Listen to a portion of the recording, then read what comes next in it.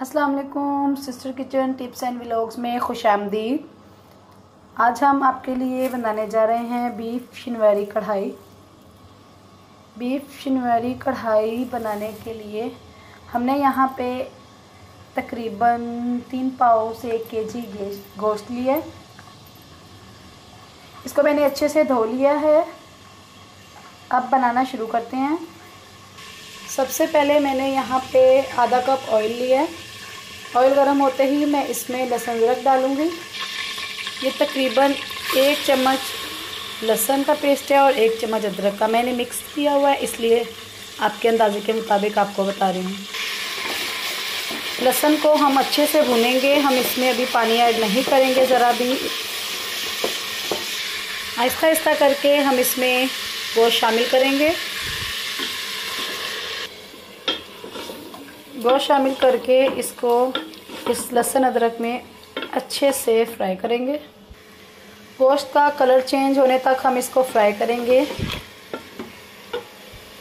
जैसा कि ईद करीब आ रही है तो ये उसके मुताबिक भी रेसिपी है। आप लोग इसे मटन में भी बना सकते हैं। अक्सर लोग पूछते हैं कि हमें गोश्त में से स्मेल आती है। आपका ये तरीका बेस्ट है, आप इसको पहले अच्छे से लहसुन अदरक में भूनें और जब तक ये वाइट नहीं हो जाता, इसमें पानी ऐड नहीं करना।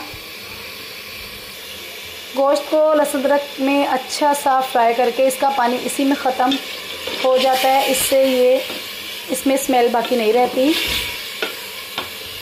अगर हम इसको डायरेक्ट चढ़ा देंगे तो अक्सर बाज़ दफ़ा गोश्त में स्मेल रह जाती है। ये भी उन लोगों के लिए ज़्यादा है जिनको के ज़्यादातर लोगों को कुर्बानी के गोश्त में या वैसे भी गोश्त में हल्की सी एक स्पेसिफिक सी स्मेल आती है, उन लोगों के लिए ये अच्छे तरीके से इसको भून लें। यहाँ पे मैंने तीन अदर टमाटर लिए हैं। इसको मैं दो हिस्सों में कट कर लूँगी। ये देखिए, गोश्त ने अपना कितना पानी छोड़ा है। अब इसमें हम टमाटर ऐड करेंगे। इसमें मैं ऐसे एक एक करके टमाटर साबुत ऐड करूँगी, जिसके हमने दो पीस किए हुए हैं। और अब इसको पाँच मिनट के लिए ढक के पकाऊँगी। यहाँ पर पाँच मिनट हो गए हैं। ये देखिए, इसके छिलके आसानी से हमने रिमूव कर देने हैं। एक एक करके इसके सारे छिलके रिमूव कर दिए। और इसको टमाटरों को, ये देखें, हल्का सा प्रेस करेंगे तो ये मैश हो जाएँगे, यानी कि टमाटर भी अच्छे से गल गया है। साथ ही हम इसमें पौना चम्मच हल्दी ऐड करेंगे। पौना चम्मच नमक, बाकी आप अपनी टेस्ट के मुताबिक ऐड करें। और इसे अच्छे से मिक्स करेंगे।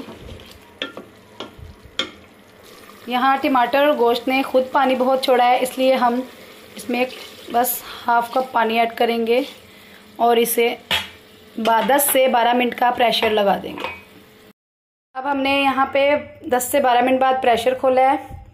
ये देखिए, हमारा गोश्त अच्छे से गल गया है।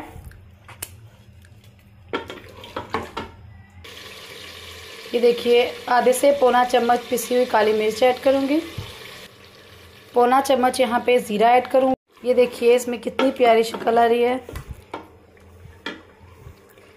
यहाँ मैंने थोड़ा सा पानी ऐड किया है ताकि थोड़ी सी ग्रेवी रखूँ। ये देखिए, ताकि इसकी बुनाई करते करते वो थोड़ी गाढ़ी हो जाएगी। अब मैं यहाँ पे चार से पाँच अदद हरी मिर्ची ऐड करूँगी। इनको मैंने लंबाई में काट लिया। यहाँ पे हमारी शिनवारी कढ़ाई तैयार है।